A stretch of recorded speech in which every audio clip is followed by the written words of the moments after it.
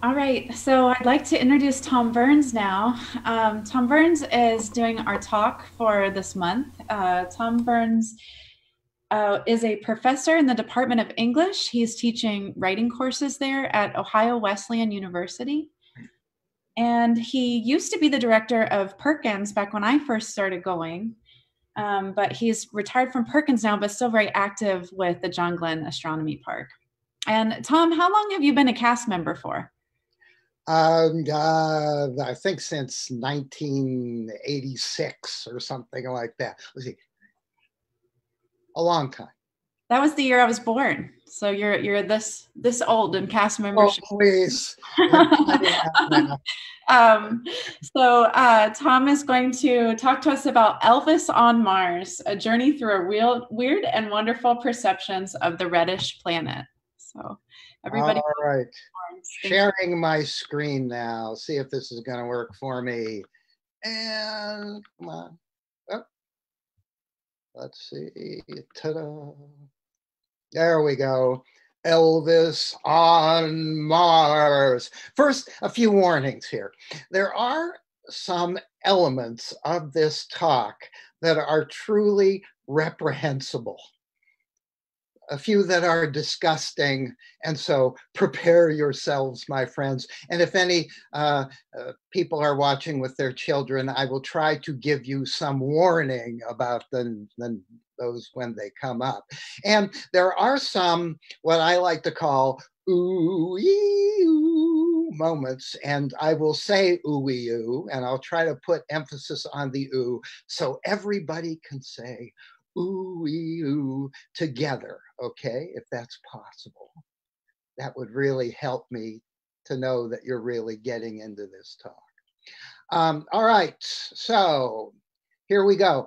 Um, on this first screen, I, I just wanted to give some sense of the kind of weirdness that is has been associated with Mars.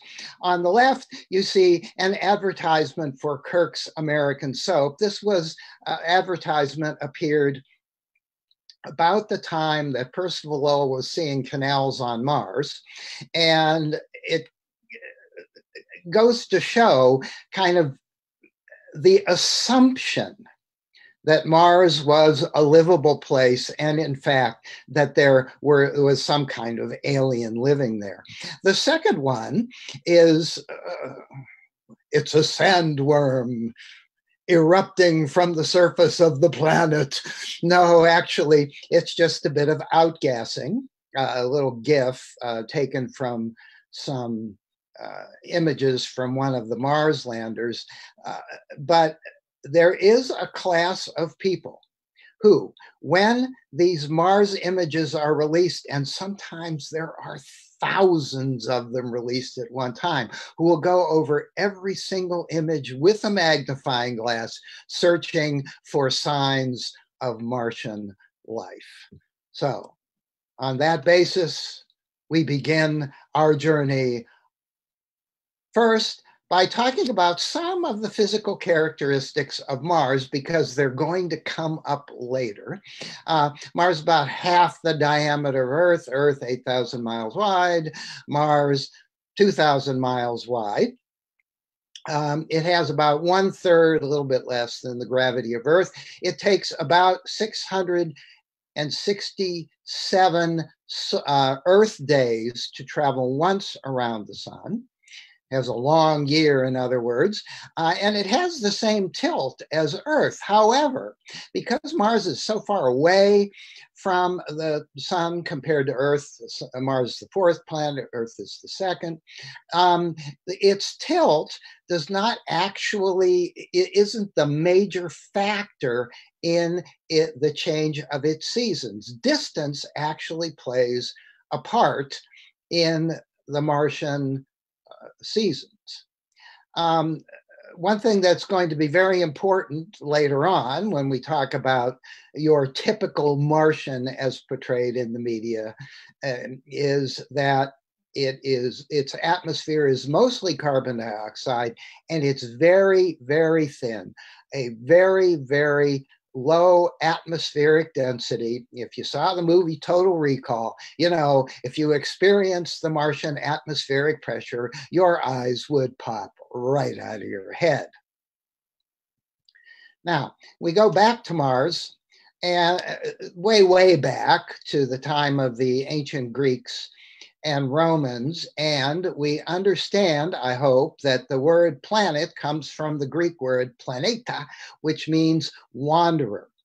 Uh, to the Greeks and then to the Romans to some degree, uh, the fact that the planets could wander against the starry background meant that they were gods. And the god Ares, or Mars to the Romans, um, signified maleness and strength. The symbol for Mars is still, as you see at the top of the screen, uh, the symbol for maleness.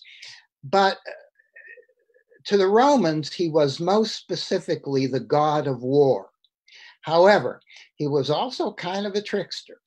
He was good at tricking people into yielding to their emotions and engaging in acts of war that they might not normally do. And is that element of a trickster we're going to see later on in our portrayal of the of what we might call the uh, typical Martian, or one variety of the typical Martian anyway. Okay, so what we end up with, if we look at the kind of earliest sort of scientific view of the sky is that Earth, of course, is at the center. The wanderers orbit around it, either orbit around it loosely or are embedded in crystalline spheres that kind of rub against each other, producing the music of the spheres. Perhaps you've heard of that. Um, but if they're farther away, of course, they orbit at greater distances, and that means they move more slowly the so-called geocentric model of the universe, which puts Earth at the center, then Luna, the moon, um, then Mercury, then Venus, then the sun, etc. Now, this was all codified in the fourth century BEC, BCE by a fellow named Aristoteles. His the Roman pronunciation of his name is Aristotle, who borrowed uh, the system from a philosopher named Eudoxus.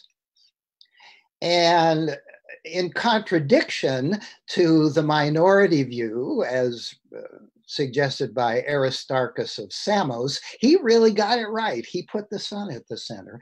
But Aristotle systematized this and made a serious error that plagued both philosophy and science for two millennia. That's 2,000 years, folks. It's important to understand that one of the weirdest aspect of Mars is that we had it wrong for most of civilized history. And that mistake was that the orbits of these planets were uniform. They never changed their velocity, their speed. They were absolutely circular, perfect, perfectly circular. And uh, that that motion never changed. Uniform circular motion becomes a difficulty that plagues science for 2,000 years. So here is the way that ends up turning out. You've got the moon, um, Mercury, um, Venus, the Sun, then Mars, Jupiter, Saturn, and that was it, of course, for the naked eye planets. And then the fixed sphere, sphere of stars, and then what was called the sphere of the prime mover, the creator of the universe. Okay, so all of this stayed pretty steady as astronomers began to be able to actually plot the motions of these planets. as, Mars was a particular problem, as we shall see. Um, Ptolemy had some splaining to do, and, and he had to change this system to do that explaining because, first of all, it did not predict the positions of the planets ac- uh, accurately.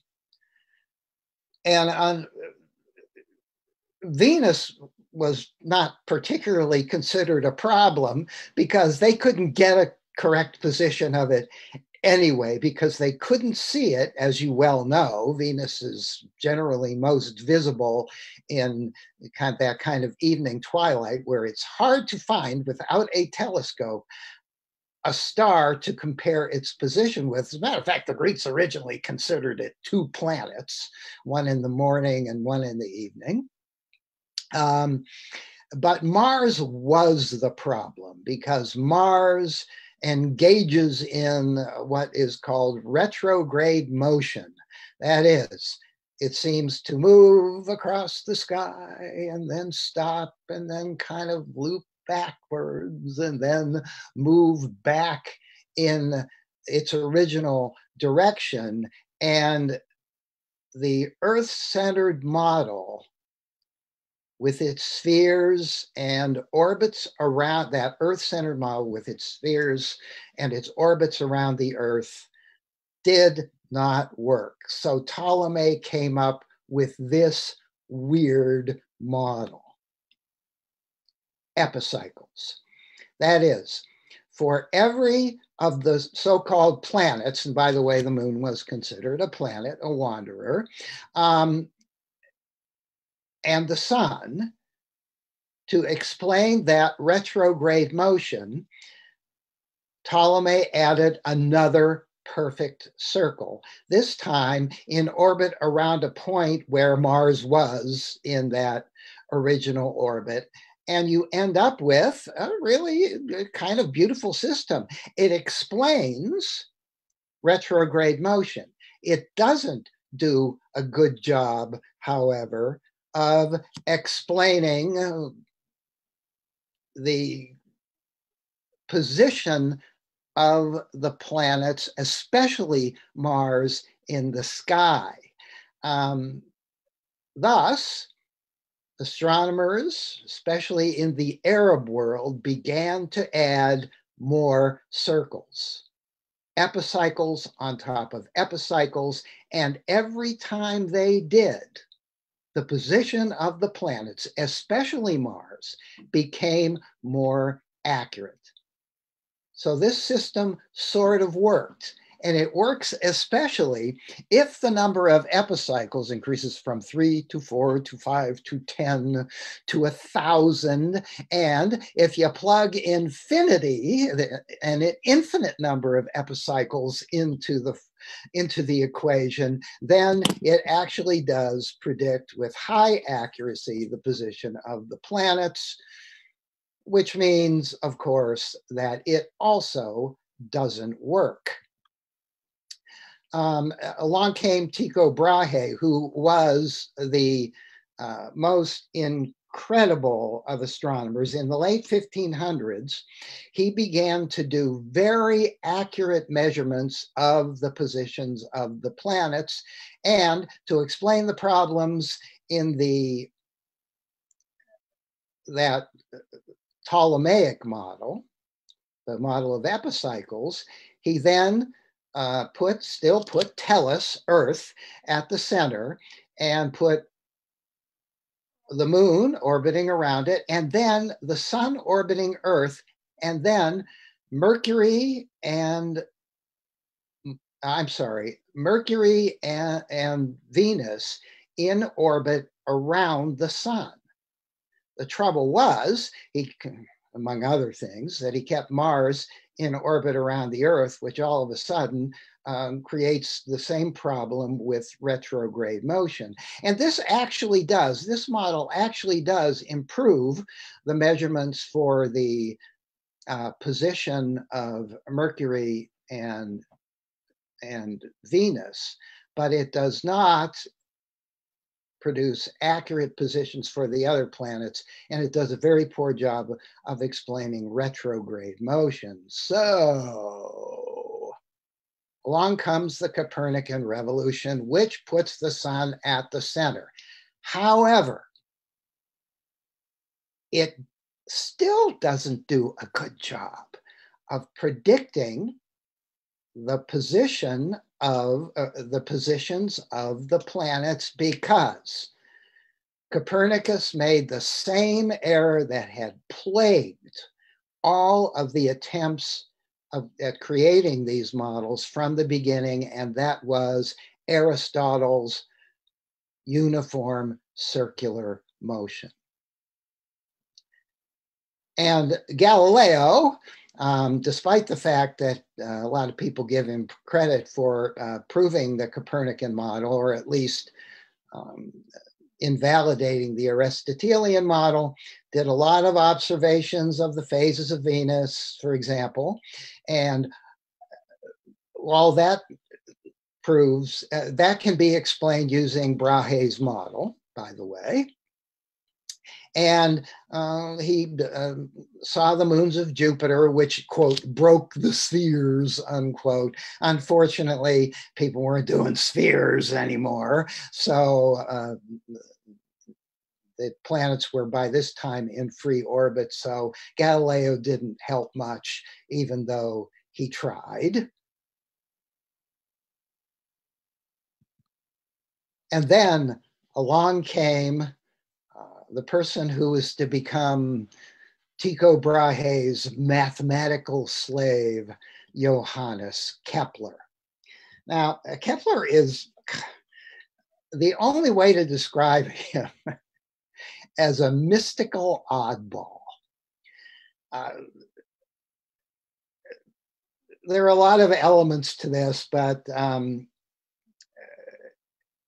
in his uh, little commentary, um, which was written sometime before uh, 1514, he outlines not just a defense of the uh, Copernican model with the sun at the center, but also his kind of mystical beliefs, which were that somehow the creator of the universe, God, had embodied his perfection into the structure of the universe. So that is, if the sun is at the center, the sun represents God the Father. The sphere of the stars, which is way out at the edge, uh, represents the Son of God, Jesus, and the space in between represents the Holy Spirit.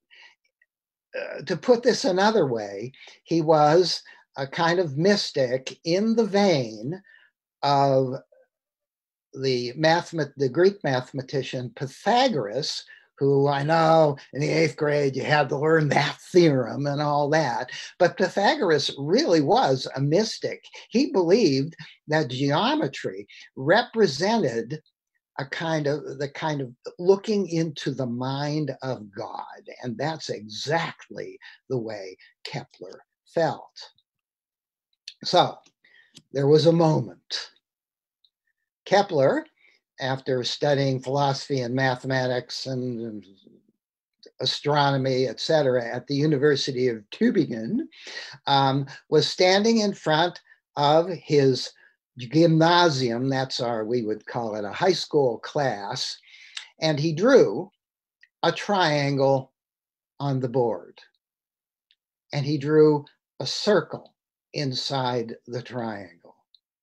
And he drew a circle outside the triangle so that the two circles were touching the triangles. And he at once had what can only be called a mystical experience because this to him represented the perfection of the cosmos. As the triangle was divided, each, each of the sides of this equilateral triangle were divided in half by the inner circle. And the outer circle was divided into thirds by the triangle, and the inner circle was divided into thirds by the triangle. Uh, And the figures themselves were perfect in their symmetry. And he realized at that, he thought at that moment, there were six planets and five perfect, symmetrical, three dimensional solids, polyhedra. And for years, he tried to estimate, he knew uh, along uh, more than a century before Titius, uh, the Titius-Bode law, which kind of systematized this. He knew that if the sun were at the center, that each planet, starting with Mercury and going to Venus, would be twice the distance as you moved out. And so he worked with these geometric solids to try to recreate that um, kind of double the distance.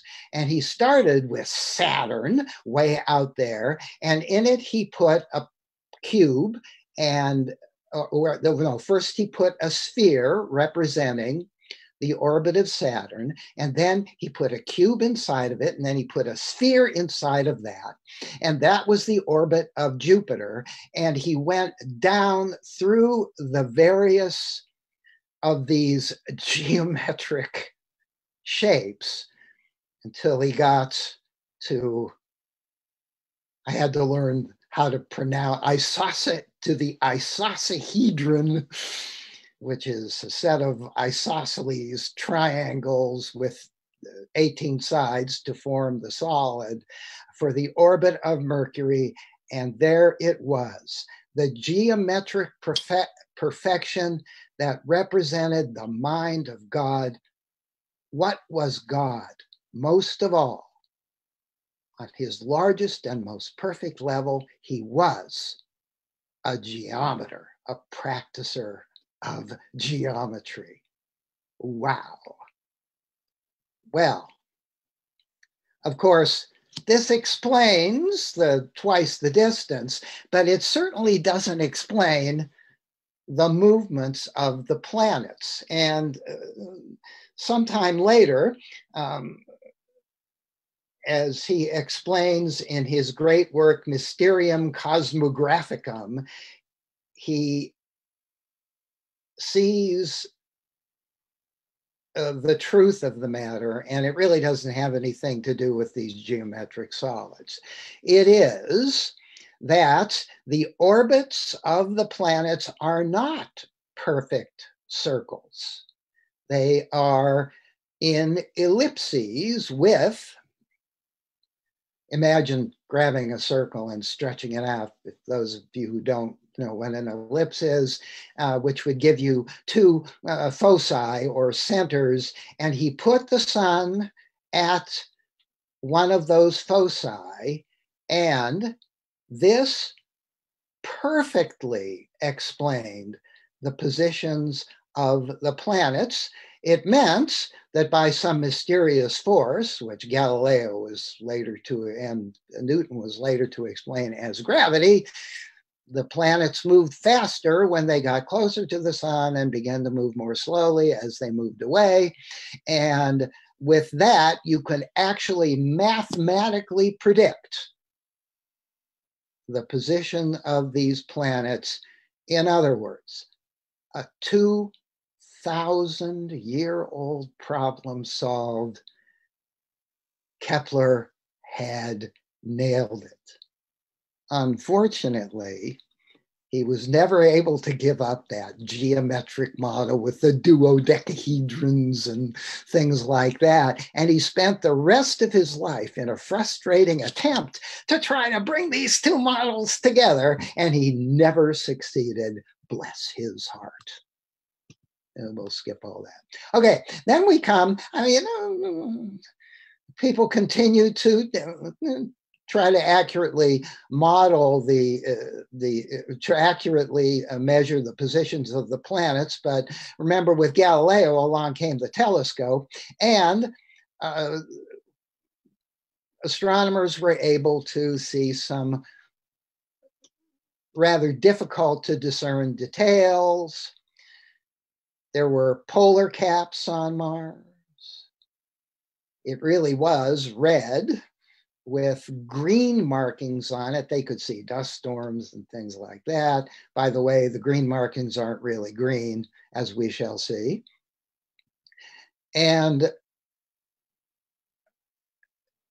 the, the great moment of change and per, perhaps the Urgrund of all of the weirdness about Mars that is to follow happened around 1895 when a fellow named Percival Lowell, perhaps you've heard of him, uh, began using his big old telescope.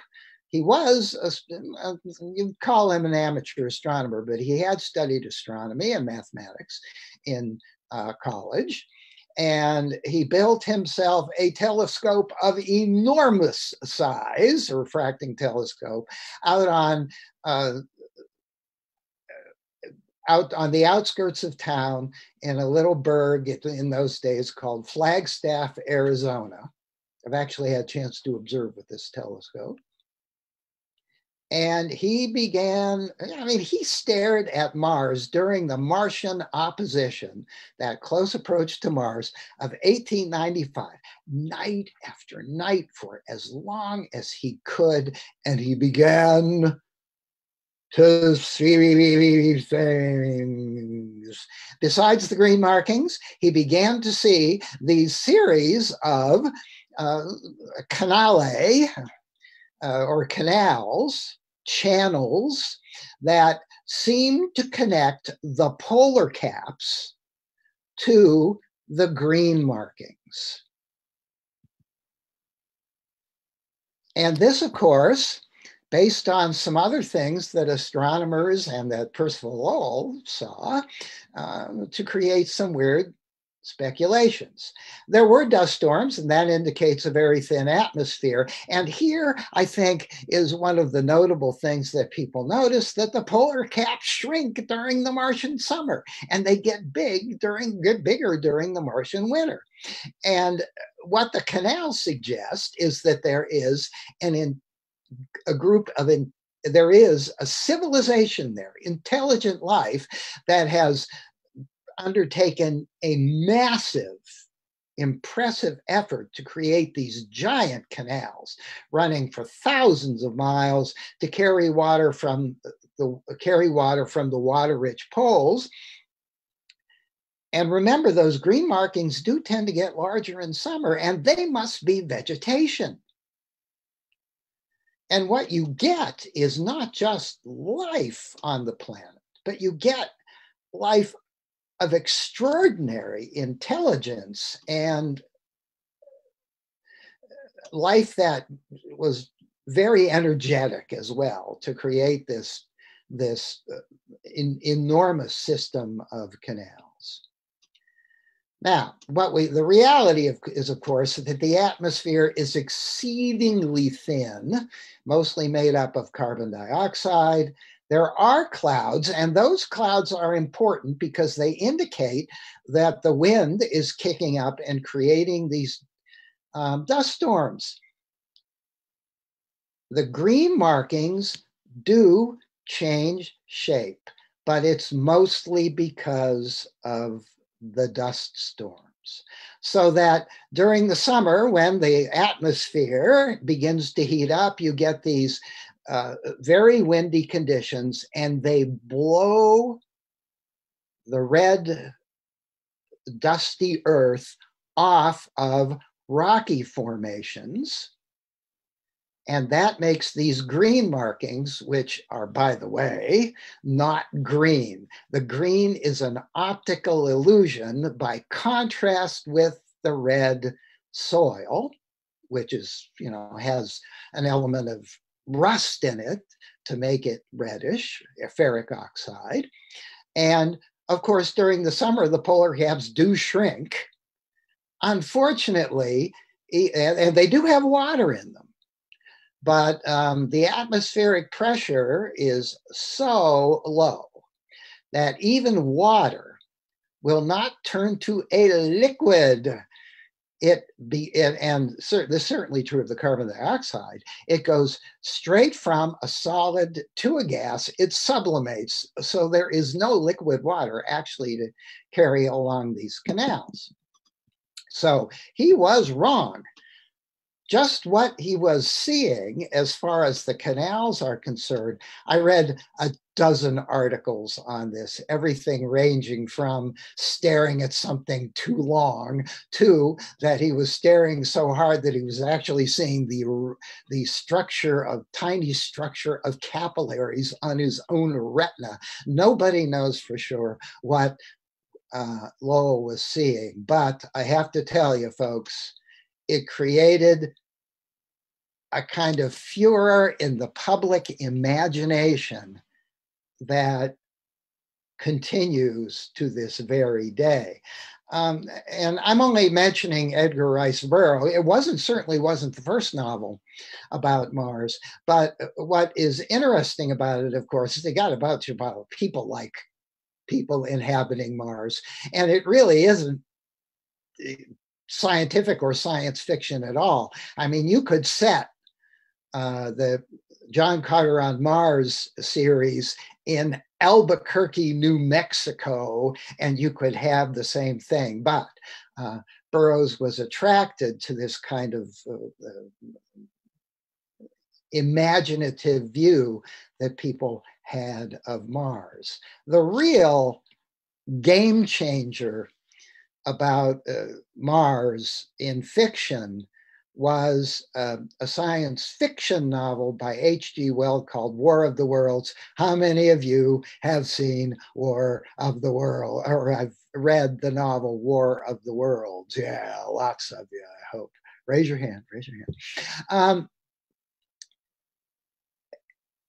this was published, serialized in uh, um, Pearson's Illustrated Magazine or something like that, starting in 1897. Realize that that's just two years after Lowell made his initial Martian observations, and the Martians are nasty.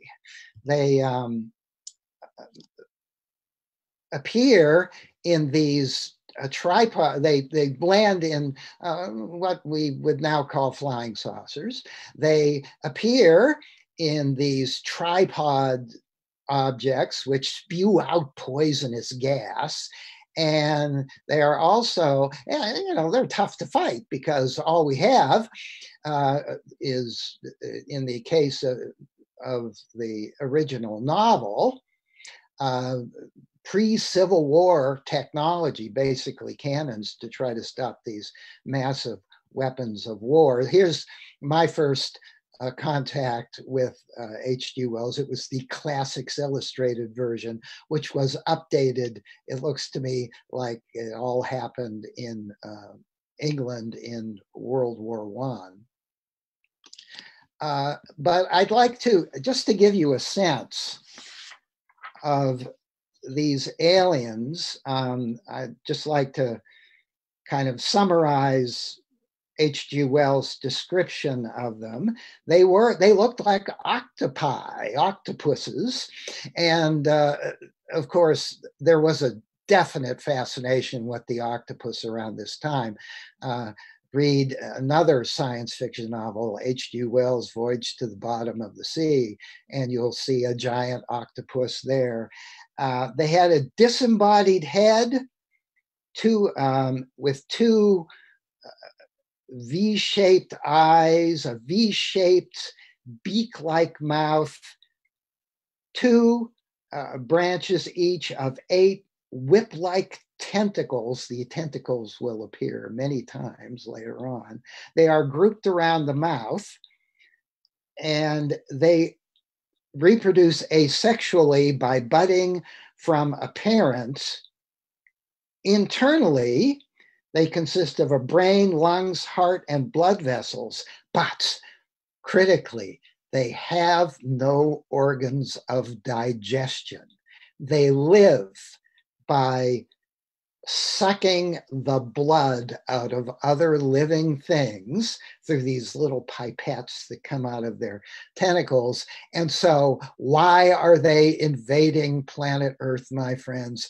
It is to suck human blood.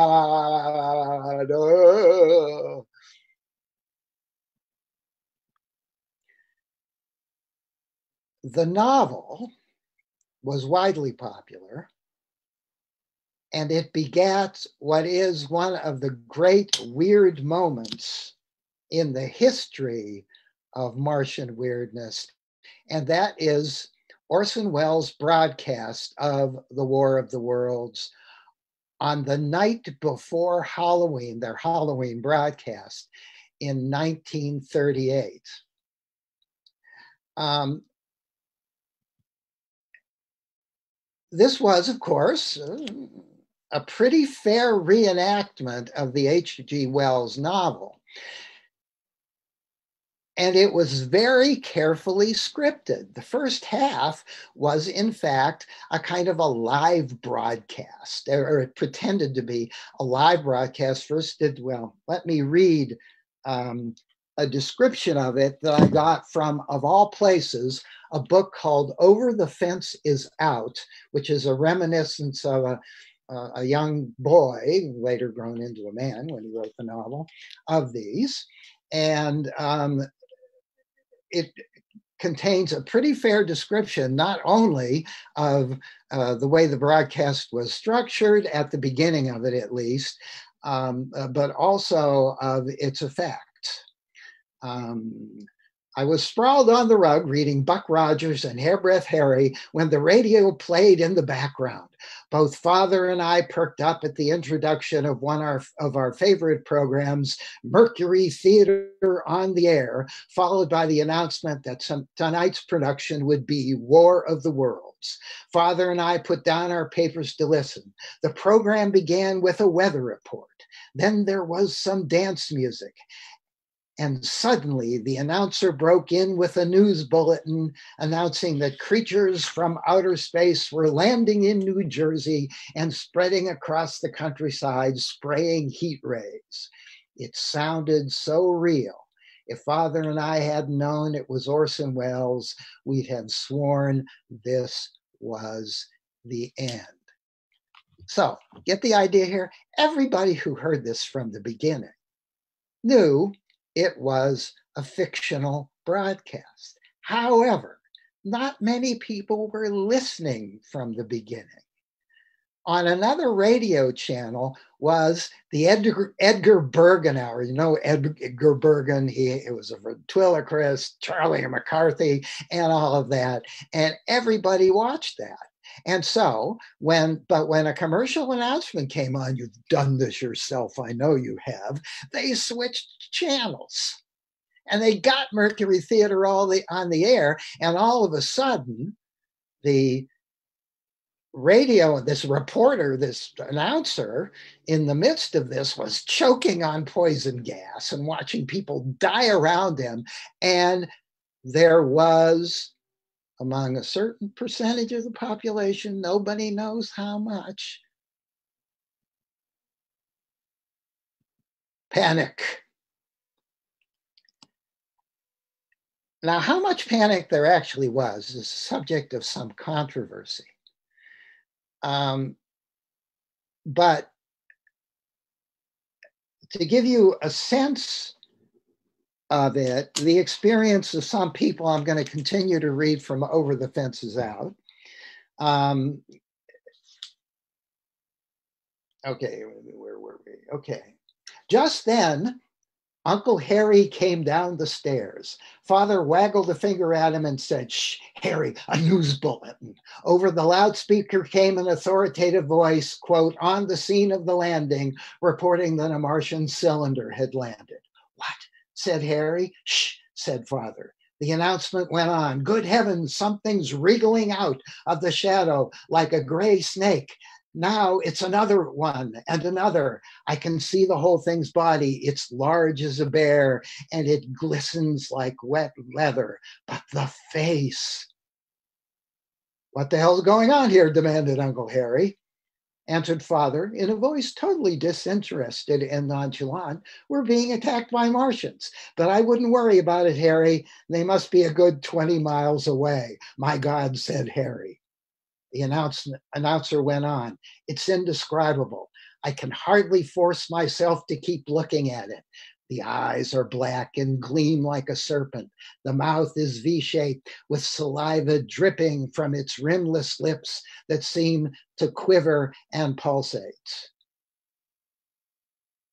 And then an announcement from the Secretary of Interior, who intoned, Citizens of the nation, I shall not try to conceal the gravity of the situation that confronts the country.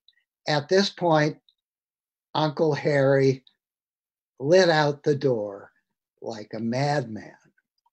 And at this point, son and father go out on the front porch to see what's happening outside. And this is what they saw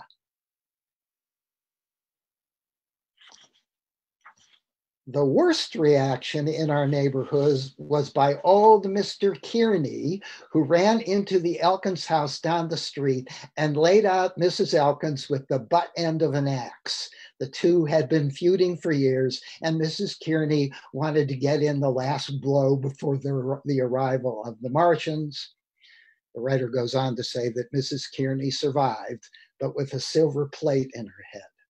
Another incident an elderly gentleman from the end of the block took off like a sprinter, white mane flying straight out behind him, shouting, Our time has come, our time has come. He, in fact, had been predicting the end of the world every day for years, and he, now he was more or less happy that his prediction had come true and he could put his master plan into effect. He was found by police hours later, beating his way through the woods on hand and knees. He explained that he was searching for two of every kind of animal and that his mission was terribly important and they shouldn't bother him, but they bothered him anyway. Now, the third one is slightly salacious. Prepare yourselves. Hold your hands over children's ears. Father and I witnessed the third incident in our neighborhood with our own eyes, and it was a rare thrill for me as it represented my first opportunity for an overall look at the undressed female body.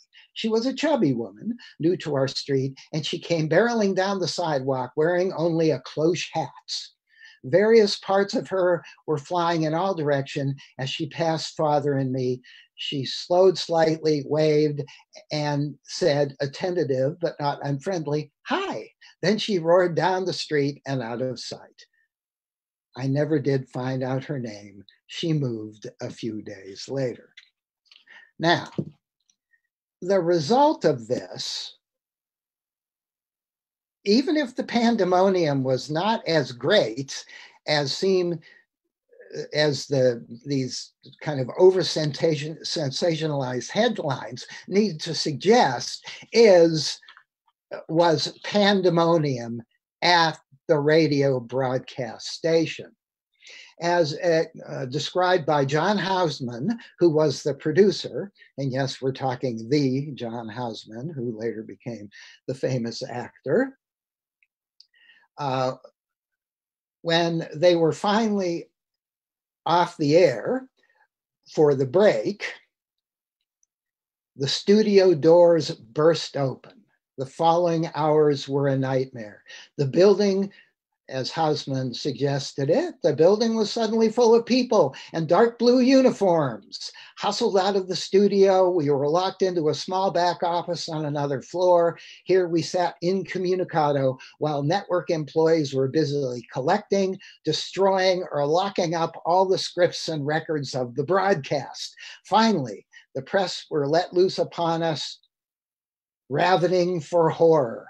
How many deaths had we heard of, implying that we had knew, heard of thousands? What did we know of the fatal stampede in a Jersey hall, implying that it was one of many? What traffic deaths? The ditches must be choked with corpses. The suicide. Haven't you heard about the one on Riverside Drive? It is quite all vague in my memory, but quite terrible. As a matter of fact, poor Orson Welles, the rising star, was seen dejected after the broadcast. He was just trying to do a good Halloween story, sitting in a chair, glumly shaking his head with his head down and saying, This will ruin me. Well, psst, it didn't ruin him. The next year, he produced Citizen Kane, the greatest, some people say the greatest movie ever made, but that ruined him because it died at the box office. Now, uh, we begin to see a change happening around in, in the early 1950s. Uh, we begin to see um, science fiction novels that were not the old style of science fiction, which is kind of the, you know, ray guns in space kind of science fiction, as exemplified by the first Lensman series by E. E. Doc Smith, the kind of thing that I used to like to read. But I soon discovered, um, long afterwards, that uh, Ray Bradbury in 1951 changed the world by publishing two science fiction novels. One of them was Fahrenheit 451 about book burning in the future. And the other one was The Martian Chronicles. And these two novels began to see science fiction, but in specific, in the case of Martian Chronicles, uh, the Martian civilization as emblematic of some deeper and not so pleasant characteristics in human society.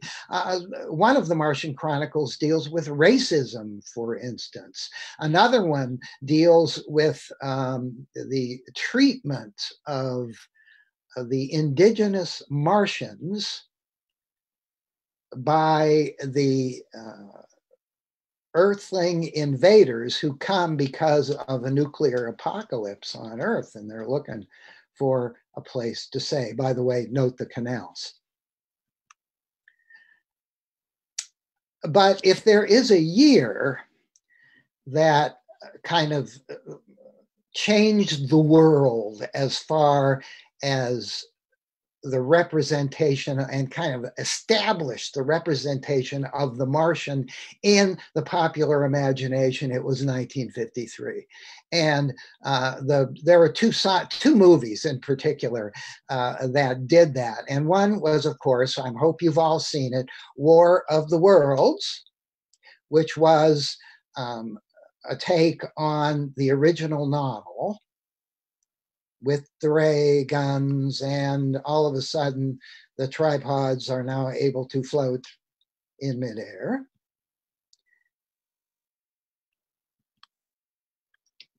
Now, the thing to recognize about the, these is that the original novel was set in uh, England, near London, and War of the Worlds, uh, the uh, broadcast was set in New Jersey, uh, about uh, just not too far, something like 20 miles or something away from New York City. Um,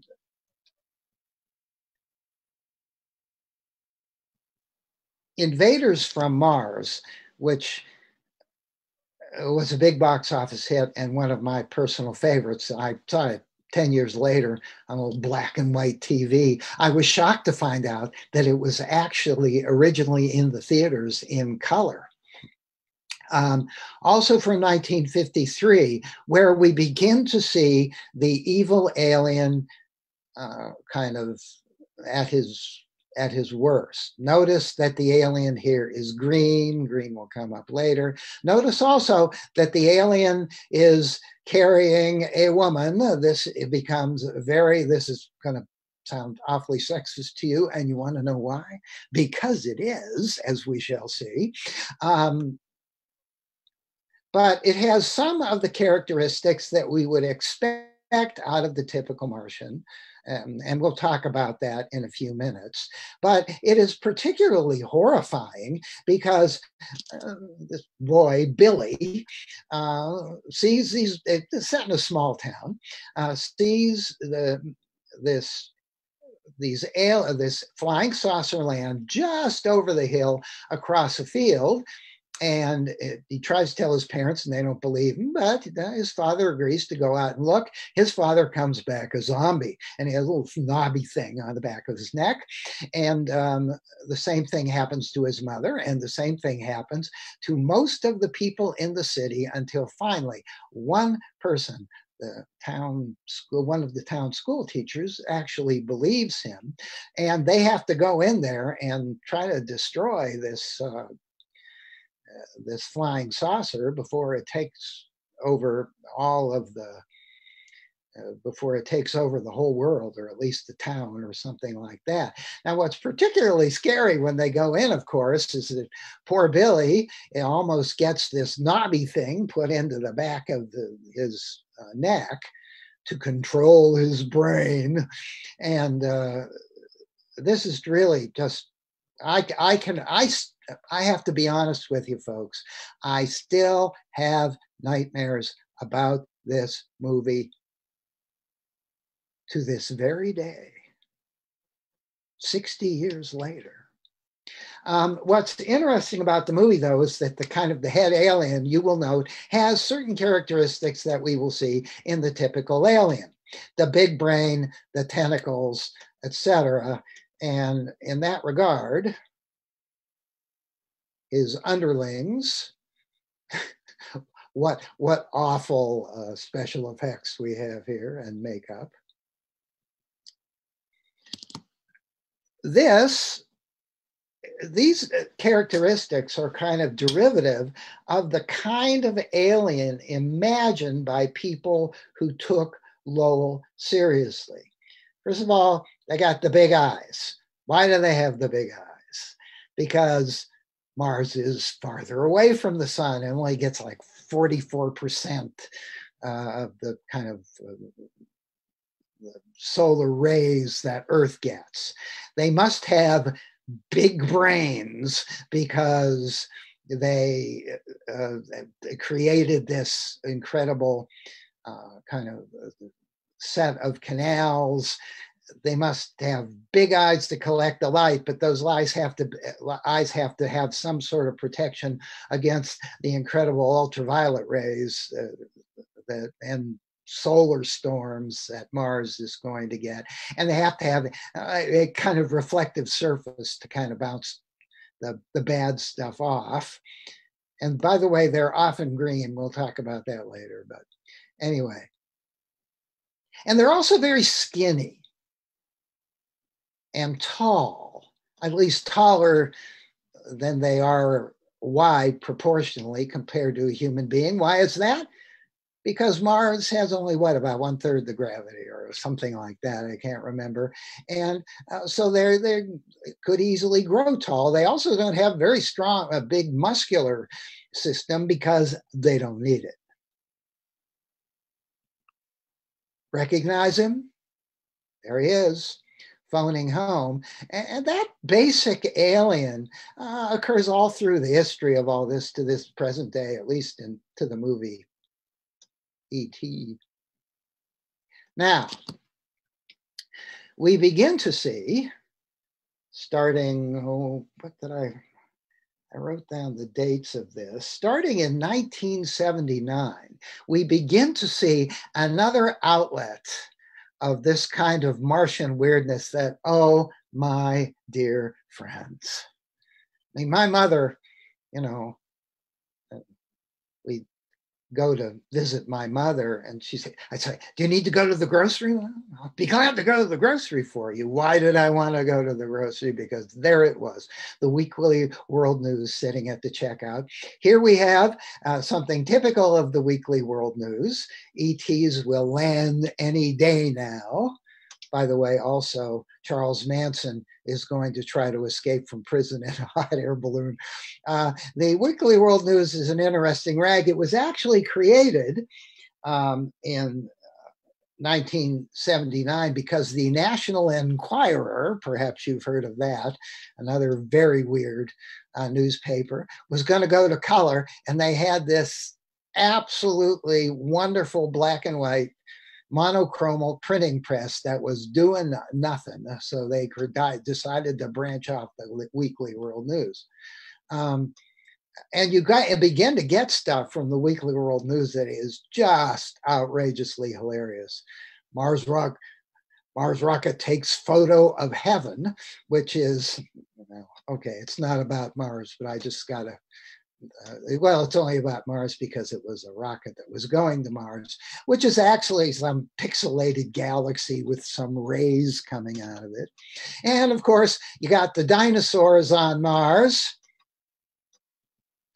And this new photo of life on Mars, which is some electron microscope of some bug or something like that. But also one of those great and wondrous delusions that uh, in, infected the world for a while, the face on Mars, which we will get to. Of course, Noah's, Mark, Noah's Ark was found on Mars, a, a kind of a thing that went on for years with Mars was the Bat Boy, who was found in a cave on Earth, but eventually ended up on Mars. But you see the Bat Boy in practically every uh, edition of the Weekly World News. He has Martian characteristics. And of course, this one of my favorites.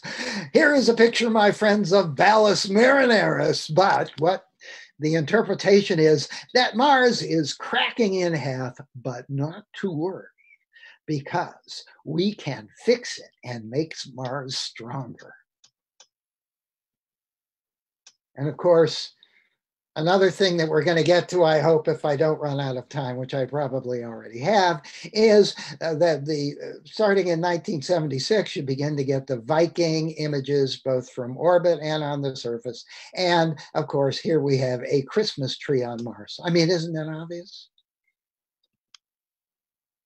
And then later on, to show you that this never went away, Obama appoints a Martian ambassador and here I have to, to say, and I'm going to tell you why, is where all of this, the hideousness sometimes of the weekly world news finally made me never look at another screen of it. We start with Hillary Clinton on Mars. And then an alien baby is found on Mars. And then Hillary Clinton adopts an, the alien baby. Now, those are out of sequence, I have to confess to you. But what got me, and I think this is kind of representative of the kind of attachment that this feeling that you get that Martians represent the other,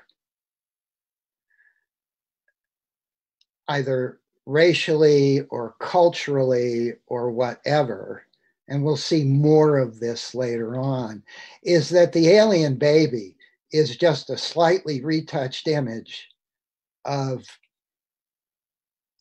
an, a, an African child dying of starvation. I mean, how low can you go?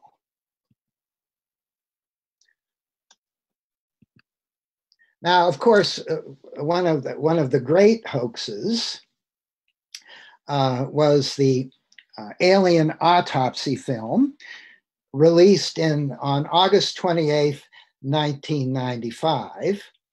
Uh, the fellow who did this, I will not dignify his name by mentioning it. Also, I can't remember it. Um, claims to have this is by the way a museum image at the UFO museum in Roswell.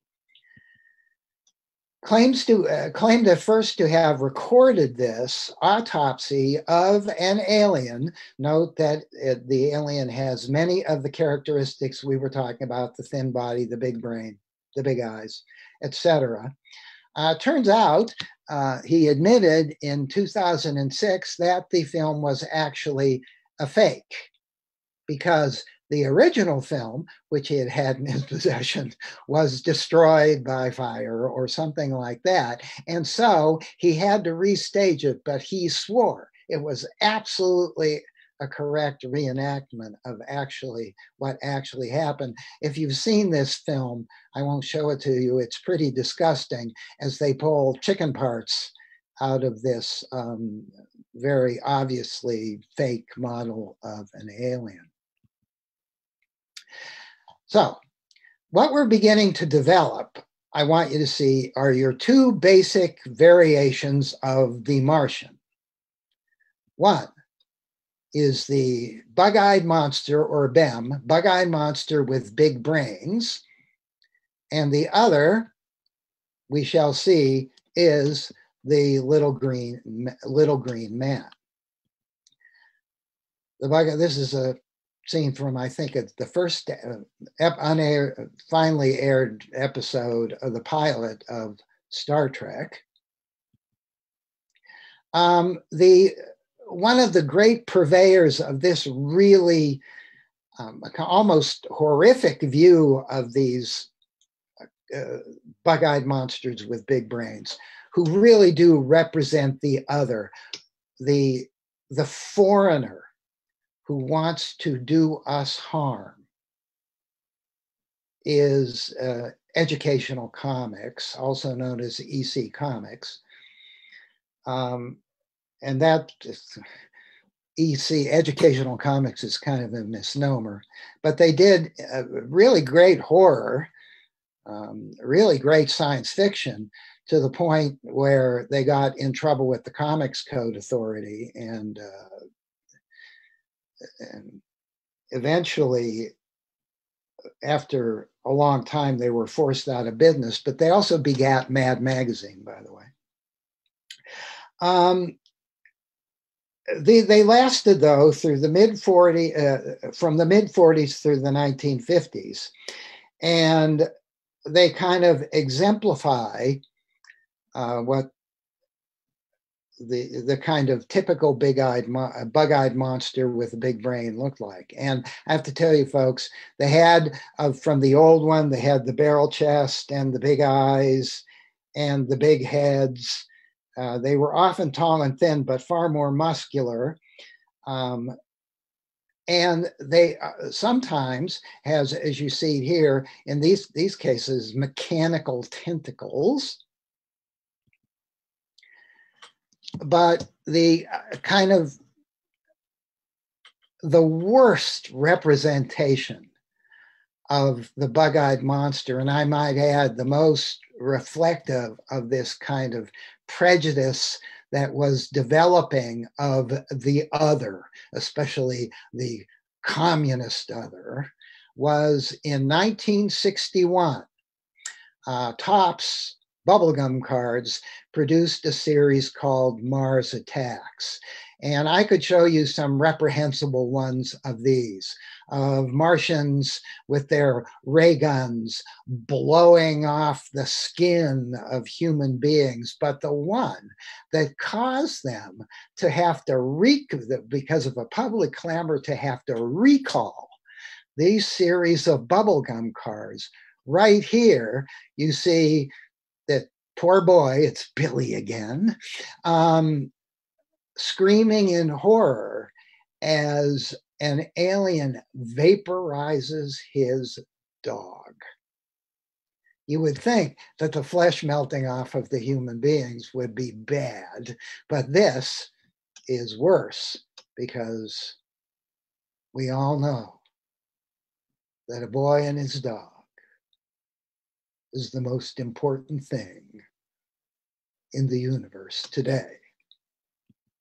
Well, of course, as, as we were talking about this movie a little bit earlier, uh, it, it's important because it begats kind of the uh, uh, this movie by Tim Burton called Mars Attacks, which don't tell me now, I think came out in 1999 or something like that, and represents all of the characteristics of the bug eyed monster and this one really does have bug eyes with the big brain.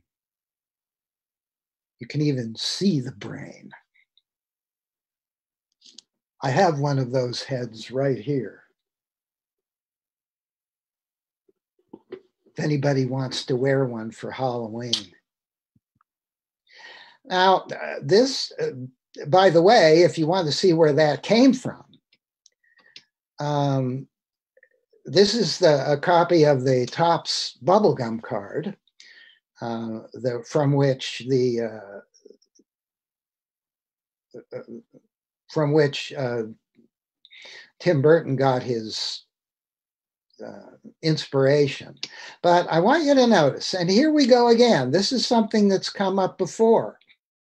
When you see representation of aliens, they are often holding scantily clad women from the science fiction magazine Pulp, Planetary Stories, from a weird movie I cannot remember the name of, but there we are with the bug eyed monster with the big brain and the woman showing a lot of leg. Why? Why, you ask yourself, do we see these bug eyed monsters with big brains, often accosting or carrying a scantily clad woman? Why, my friends? Because they want our woman, women. This is a theme that you see in the pulp science fiction, especially the bad pulp science fiction in the movies. There's even a movie named Mars Wants Women or something like that. It's just really, really awful stuff. The second basic characteristic, uh, the kind of alien, is the little green man. He's a little different. He has many of the characteristics of the original alien, but this time he's green. And a lot of people, and he often has tentacles. That goes all the way back to the original H.G. Wells story. But he's not dangerous. He's kind of funny, kind of fun. He's kind of a trickster. And uh, where uh, you you know, you've got all the characteristics, physical characteristics of the original alien, except for the green. And I did quite a bit of research on this, my friends, and I have come to the conclusion that two of the theories about this, here he is. Recognize him? from Toy Story, I think.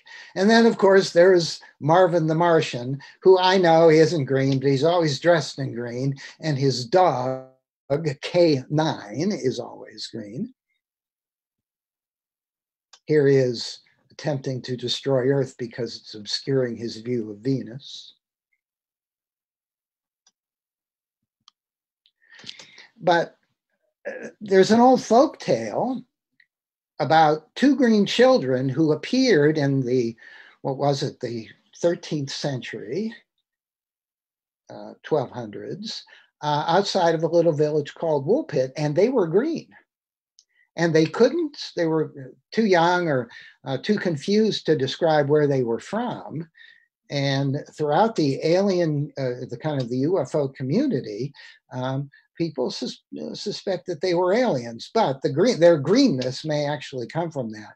But I have a different theory, and it has to do with the foreignness, the alienness. Um, you're looking at a person dressed in green, but he's kind of a trickster, and he's always trying to get something out of you by fooling you, by making false promises. He goes all the way back in some ways to the Martian god of war. And uh, he represents a kind of ambivalent attitude that people had uh, uh, about the Irish at the time, and there's the sense that they are uh, foreign and that they're kind of tricksters and um,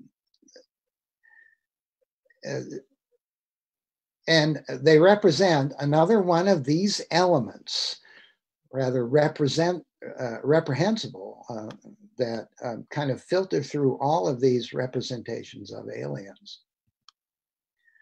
Now, I want to go back to 1953 because um, remember, those two movies, War of the Worlds, Invaders from Mars, had a big influence on um, the kind of on the world of the day. And what they did was, was, spawn a bunch of hoaxes. At the time, there were a lot of UFO sightings as well, and uh, they helped to uh, promulgate this. Uh, the first of these, uh, to make a long story short, you got a little town, you got a family running into, and the entire family running into the local uh, police office and saying they had seen these aliens, they were scuttling along the ground. Note they have uh, many of the characteristics of the classic alien, including the long tentacle like arms. What they do have are big ears. This was um, around the time that Invaders from Mars uh, hit the screens. They actually claim to have seen them scuttle into the spacecraft and take off. And then um, uh, in the years that follow, you begin to see the same basic alien uh, drawn in a similar way in various um, small towns Madisonville, Kentucky, Evansville, Indiana, Clarksville, Texas. It was kind of um, a pandemic of weird Martian drawings, but they all looked very much alike. This, of course, is evidence that they really exist or that, you know, people are reading other people's newspapers. But the one, I hesitate to even tell you about this because it is so ugly and funny at the same time, if you have that kind of sense of humor. There is the story of the Monkey Man, the date, July 8th, 1953. A policeman is driving along a dark country road, Route 78, uh, outside of Atlanta, Georgia. No other cars on the road except there's a car stopped in the middle of the road. Its lights shining on the road. And there are three guys, led by a fellow named Ed Waters. He was barber and claims to be 28, looking down at an alien creature from Mars. Small thing, monkey like and as the policeman shines his flashlight in the area around, he finds burn markings all around the grass in the area. They claim that they had come around the curve, they had been honky tonkin, which means going out and getting drunk. And uh, they had come around the curve and they had run over one of the aliens. The rest had run into their saucer shaped spacecraft. I note with interest that there had been some uh, sightings of saucer like objects just a couple of nights before uh, in near the town they, uh, they lived in. And so the policeman told, them to take their car off to the side of the road, took him down to the local constabulary where they call in the town coroner, and he looked at it and said, I've never seen anything like this. Um, it didn't take, there they are holding the poor thing. Well, it made all the newspapers, folks. And it, of course, was a hoax and a hoax of a particularly reprehensible time. Ed, who looks like he's about 17 in this picture, had bet his buddies in a drunken stupor 10 bucks that he could get his name in the newspaper. And having read about these saucer shaped uh, or these saucer uh, apparitions, he went out and bought himself a monkey for 25 bucks and he cut off its he first he killed it by chloroforming it to death then he removed all of its hair using one of those chemical depilatories that I don't think are on the market anymore. I think one of them was called Nair or something like that. And um, put this thing by the side of the road with his buddies, parked their car so that the lights would shine it, and then took a blowtorch and uh, burned off a lot of the grass by the side of the road.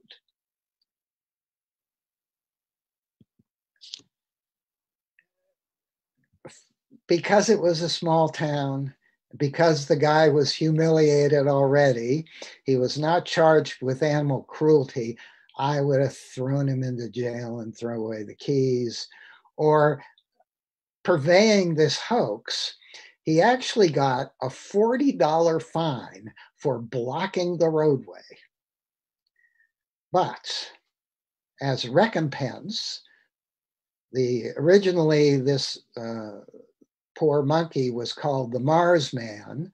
The name was transferred to Ed Waters. He became the Mars Man. Humiliated, he left the town soon thereafter. The Mars Man is still on display at a local museum. And of course, oh, I've already run way long. There's, of course, the Face on Mars, Richard Hoagland's thing. Hey, it's the Weekly World News again.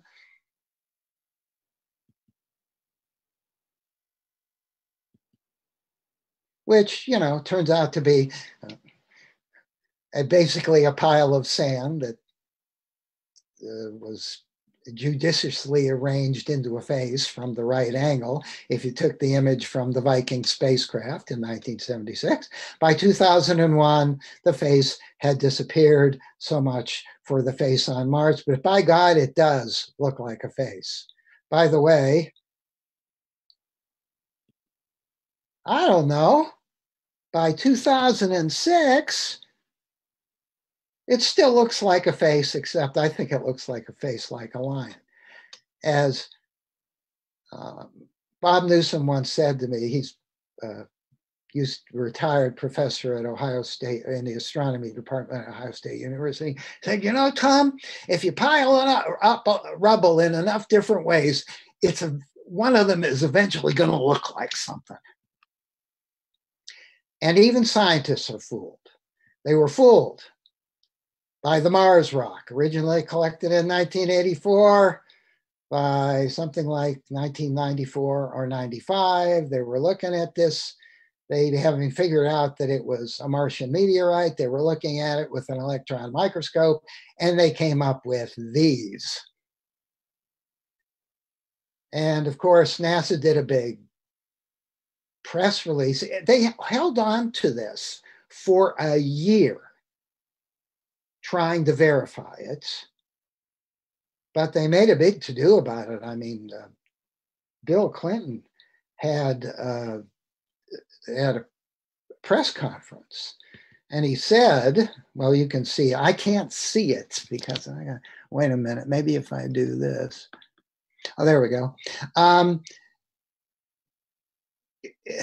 if this discovery is confirmed, it will surely be one of the most stunning insights into our universe that science has ever uncovered.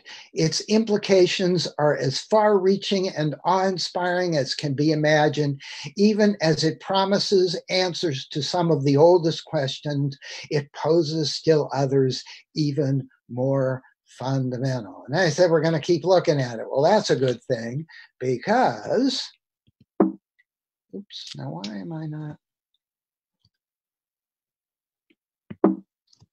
Huh. Wait a minute.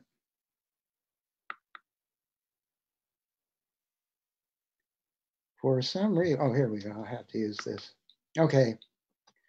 Now, the results of it, however, of course, hey, we're back to the weekly world news again. Um, the Mars rock virus invade, infects the United States. Of course, all of this was completely bogus, um, or seems to be. There's still some argument about it, but careful examination of the rock by geologists suggests that these structures could have been produced on Earth. These magnet magnetites could have been produced on Earth by regular geological uh, forces. Now, finally, I'm almost done, folks, because I'm going to go through this one real fast. You get the images from the spacecraft. As I was saying before the talk, um, I want to see pictures again here. Okay. Um, as I was saying before the talk, uh, you've got these UFO um, aficionados looking at these images. When a, when a batch of them is released by NASA, they look at them with a magnifying glass, trying to find cool stuff in them that indicate life on the planet. And these, now it won't let me change slides, these come in various categories. The first category I call animal, vegetable, or mineral. Here we have some fossilized worms. Here we have some dragon scales, uh, dragon scales. Here we have some giant slugs, or if they're not slugs, they are giant statues of slugs. Here we have a fossil of a fish. Here we have the whole fish. Here we have, now this one's kind of hard to see, but you got to look right, right there. Do you see it? Is down here is some sort of fossilized crab-like creature. There he is, see him a little better. A human femur, thigh bone, fossilized, of course. Second category, are they messages? Are they art? Are they artifacts? Are they breakfast? You have these weird, weird swirly things, which turns out to be lava flows, but you know, they look so awfully artificial, don't they? Signs perhaps that the Martians are trying to communicate with us. And here we have, I swear to God, what some people said was Morse code. And I'm only showing you a small part of a larger image, but really that you, these dots and dashes, right? Um, one of the NASA scientists decoded these dots and dashes because if the Martians are trying to reach us in Morse code, surely they know Morse code, and this would translate into uh,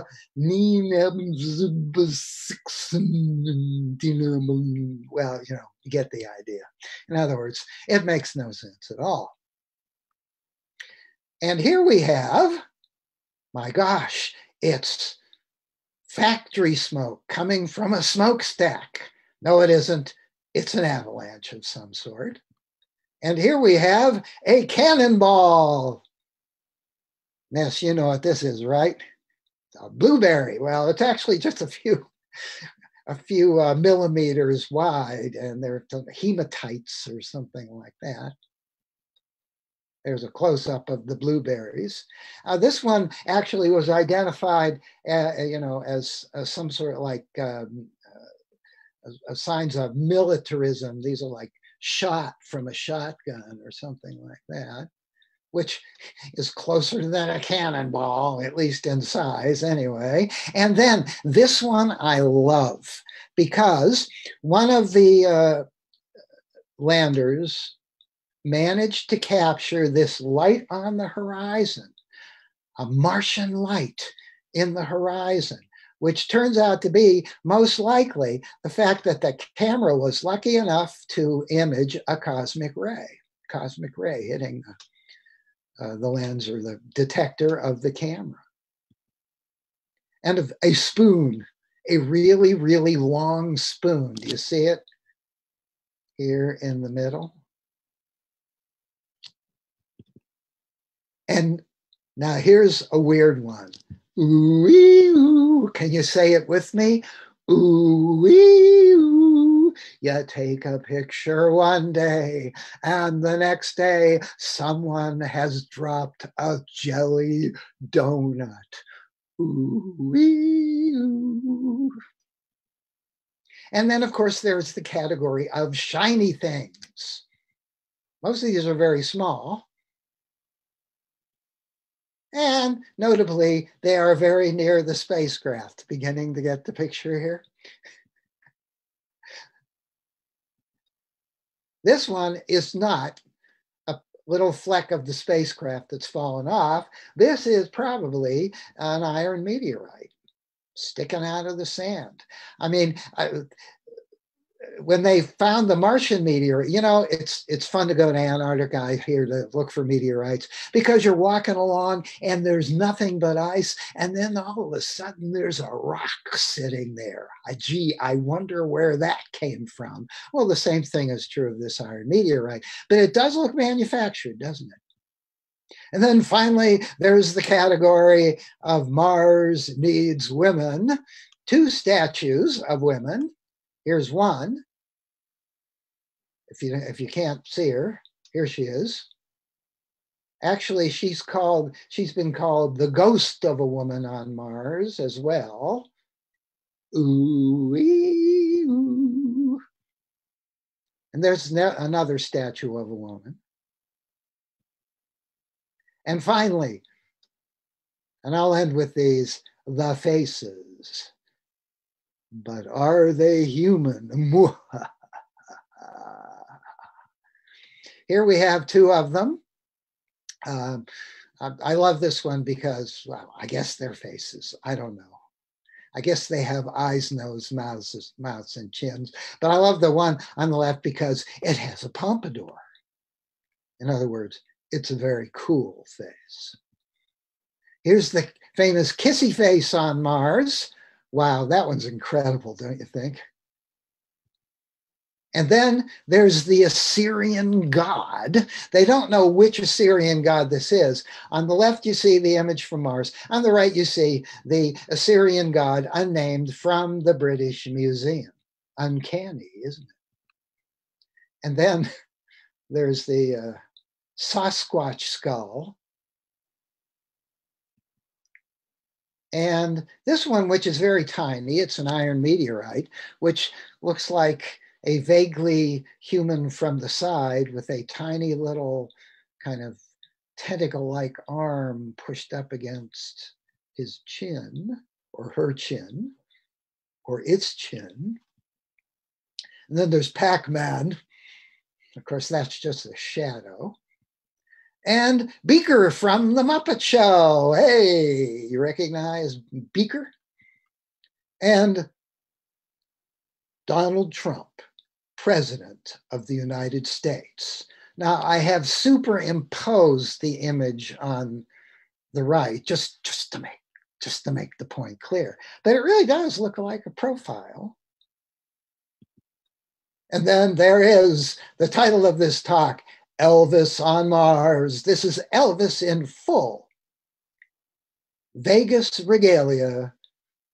Thank you very much. And of course, from the Weekly World News again, yes, the Mars rover found a fortune cookie.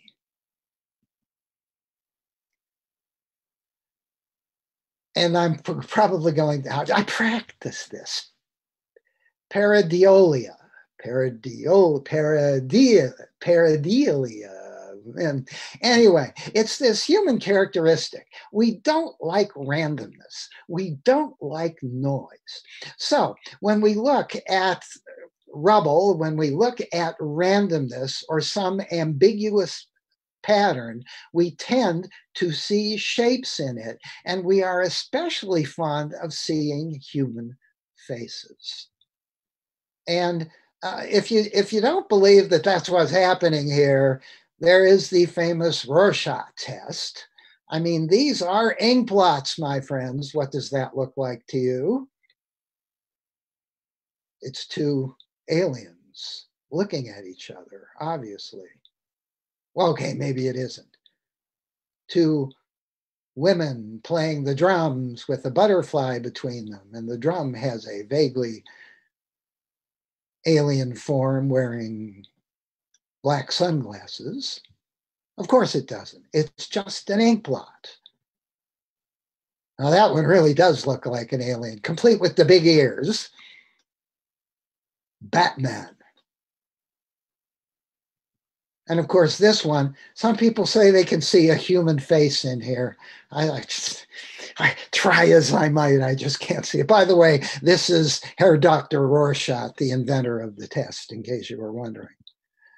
Um, I'm sorry to run so long. I got to do one more because this is one we all experienced back in 2003. There was the infamous email uh, which now I happen to personally know the person who wrote this email, and I actually personally heard him make similar comments to this um, uh, on national TV.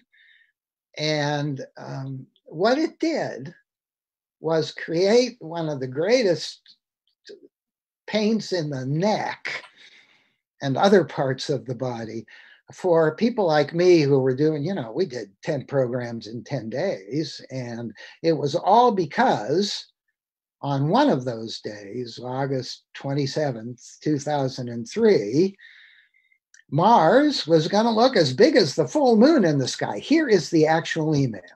At a modest minus 75 power magnification, here there is one of those accidental carriage returns then Mars will look as large as the full moon to the naked eye. Well, people just went nuts. Wait a minute. People just went nuts with this. Oh, I don't know why it keeps doing this to me. Um, here's a slide from a slideshow that I get as an email or a message attachment to this very day. Every year since 2003 in August, I've gotten at least one of these. Um, on August 27th, you'll see two moons in the sky, a little photoshopping here. It won't happen again until 2087. You know why it won't happen again until 2087? Because it didn't happen at all, of course. But um, the horror of it was the just, you know, just dealing with all the phone calls and the emails was one thing. But um, the calls, I mean, we did 10 programs in 10 days and nine of them were clear. I didn't I didn't do an all nighter. I did an all weeker for 10 more than that for 10 days and um, you would finally get everything arranged and get the 150 people stuffed into that lecture hall at Perkins, and you try to explain to them that there it's not going to be as big as the full moon. And you know you're going to send them up to the telescope, and you're doing the little slideshow ahead of time, and you say, "And now I want to approximate for you." What Mars is going to look like. So I use a little, you know, like the stellarium thing, and I and I make it a little bit bigger so you could see the little polar cap and the green markings on it. And I say, now hold your fingers like this and hold it up and just look at that little part so that you're you look like you're looking through a telescope. That is what you are going to see. And I actually had people screaming at me yelling at me, yelling, cheat and jip, and a lot worse. I had one one night, I had a drunk who just I was afraid was going to physically abuse me after the talk. So here is my message. When you read the weekly world news, don't believe everything you read. But my message is also this uh, we create these images uh, of, of these aliens, of, and we've been wrong over history more than we have been right. That doesn't mean we're wrong now. But if you see something, I know you will, if somebody tells you about something that seems too good or too weird to be true, it probably is. And uh, um, also, um, look in your hearts. I know I did when I saw that weekly world news of the starving African child. And if you get a kick out of these things, uh, look into your heart and maybe search out, as I did, why you did and why, because they reflect some dark thing about yourself that you don't want to believe about yourself. And uh, maybe if you do that, maybe you'll still think it's funny in a weird way, but maybe you'll understand that dark thing inside of you that maybe caused you to think it was funny. And maybe, as it did for me that one fine day, um, helped me to see, help me, help me to be a better person as a result. And I'm sorry I talked so long. Thank you very much. That's all I have to say about that. Actually, it, it's not true. I skipped over some really good stuff. You'll have to read my book. Any questions?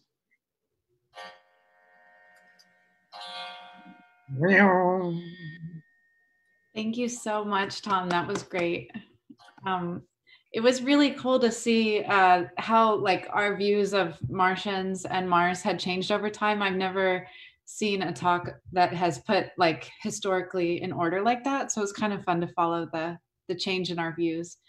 Well, as Elvis on Mars would say, thank you very much. Um, I have a question. So, what um, if you had your own weird thing about Mars that you wish were true? What's like the weirdest thing on Mars that you really wish was real that you would put in your own magazine if you had one? Uh, uh, I think that there would be a great underground civilization on Mars that had survived despite the harsh conditions, despite all of the difficulties they had to face, including the fact that they had to live in close quarters in underground in Mars, and that they had found a way to triumph over what weirdly evil and competitive characteristics they had, that they had learned to share resources, that they had survived the moment. And it seems, I'm, I'm going to guess, in every intelligent civilization where you reach the point where you were intelligent enough to destroy yourself, but still animal enough to do it. And I want to look face to face with them and say, Tell us what to do. How can we do that? How can we triumph over our animal nature? Give us the benefit of your intelligence. That would be mine. That's my short story.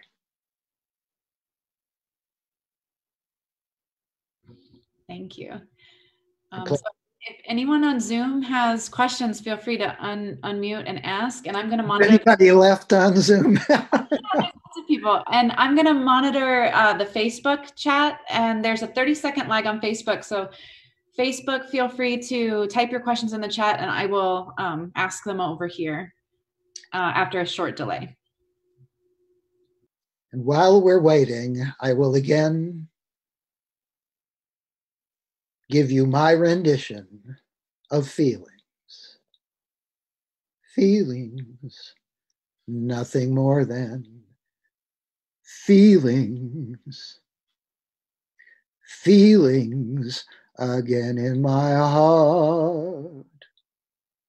Feelings, whoa, whoa, whoa, whoa, whoa. What comes after that? Oh, yes, feelings. Come on, ask me something.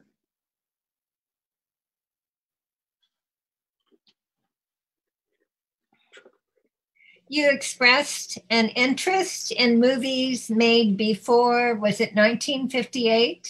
That is correct. What set that date for you? It was the last great film noir ever made.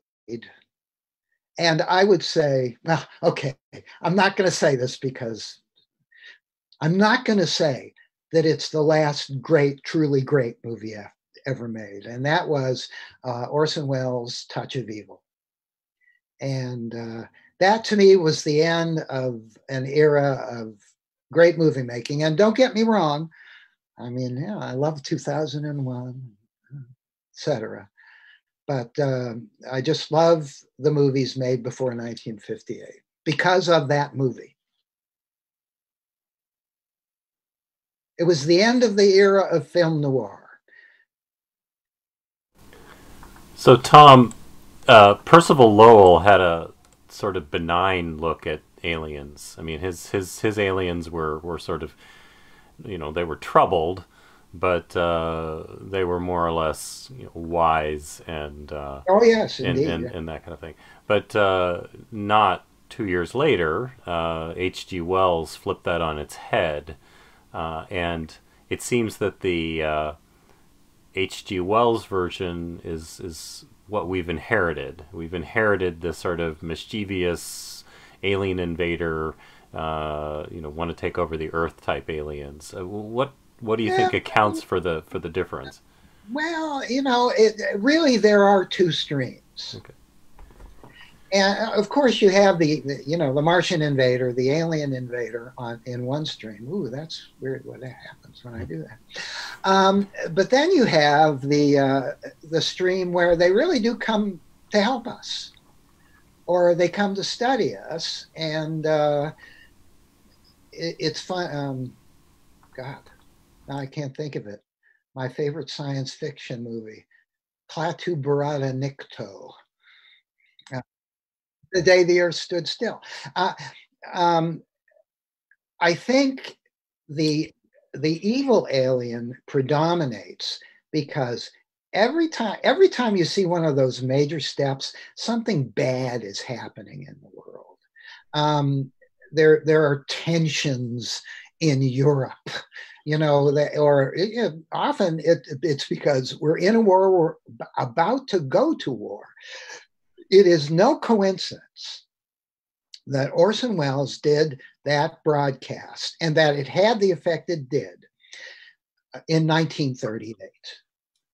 Hitler was rising to power in Europe. Uh, he had begun the annexations.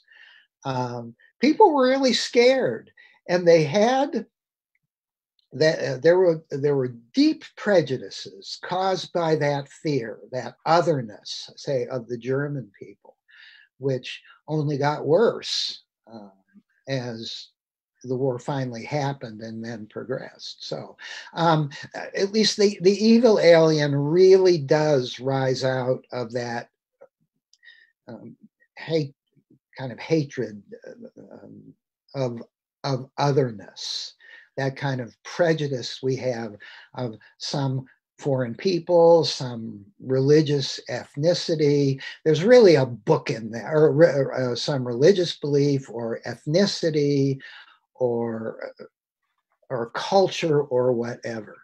Um, uh, to me, the big turning point is that in that is the Martian Chronicles, where Bradbury does try to see that more deeply and if and things began to turn away to some degree at least in a lot of science fiction writing from that from that evil alien uh, after uh, Bradbury wrote the Martian Chronicles. Then you began to get the ETs. Over on Facebook, Jim Christmas says, Love the analysis of how Martians are a projection of otherness, and the Martians wanting our women is pretty overt reference to miscegenation. And then on our chat and both Facebook, we have several people that want to know where they can find your book. I've been writing it for 30 years, longer. But no, you know, um, if there's a book in any of the, I've, you know, like people say, why don't you just string your columns together or something like that? But I think this is would make a really interesting book, and and uh, you know, give me another twenty years of life, and I might get it done. I am a slow writer.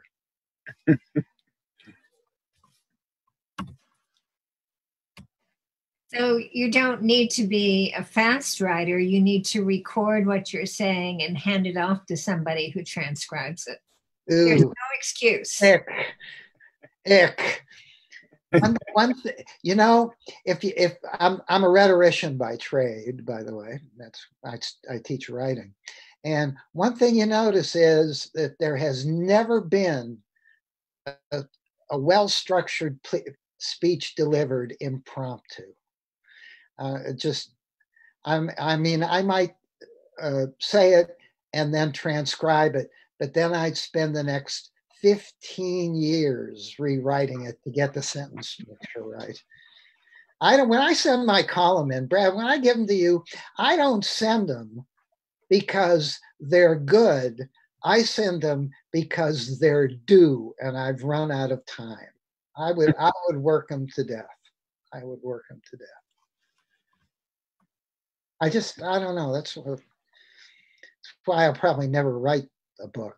I produced, you know, on average about 700, between 750 and 1500 words of text every week of my life since 1988.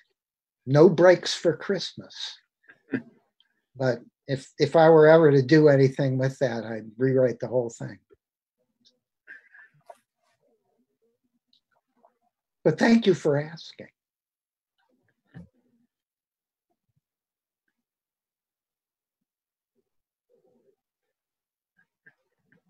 Feelings.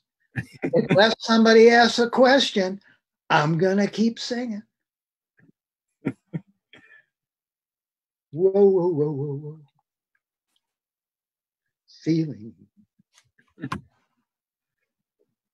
All right, then. Thank you very much.